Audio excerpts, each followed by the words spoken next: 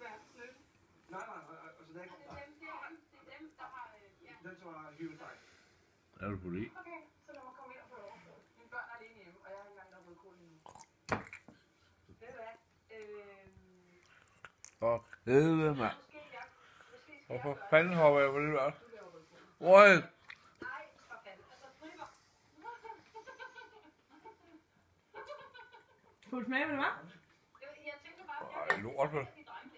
Kattemad. Ah,